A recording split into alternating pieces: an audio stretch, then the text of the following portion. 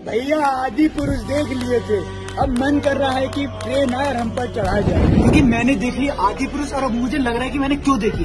वाल्मीकि रामायण से प्रेरित है, ऐसा कुछ कह रहे हैं, लेकिन स्टोरी मन ग्रंथ बनाते जा रहे हैं। जब बाली और सुग्रीव का युद्ध होता है तो इसमें ये दिखाया जाता है कि बाली को जो वरदान है, कि वो जिससे भी लड़ेगा, उसकी आदि शक्ति बाली पर चली जाएगी। ऐसा कुछ नहीं दिखाया गया, ये दिखाया गया कि बाली बहुत खराब राजा था, और उसको राम जी ने इसीलिए मारा। तो वहीं राम सीता जी कहीं बनवास नहीं आए जैसा लग रहा है कि पिकनिक मनाने आए हो। और जब सीता जी मृग को देखती है तो पिकनिक पर देखती है।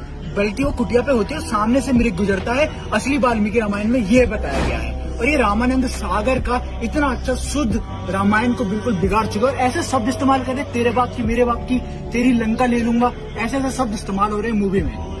और मूवी इतना फास्ट चल रहा है। कुंभकर्ण आया, उठा, लड़ा, मरा, खत्म। एक डायलॉग नहीं कुंभकर्ण का। और सैफ अली खान का ओम तस्तरी गायब? चंदादर पे उड़ रहे भैया वो। तो अब कुछ भी हो, आप भी देखना मूवी आपको भी पटरी पे लेटने का मन करेगा। बाकी बाय बाय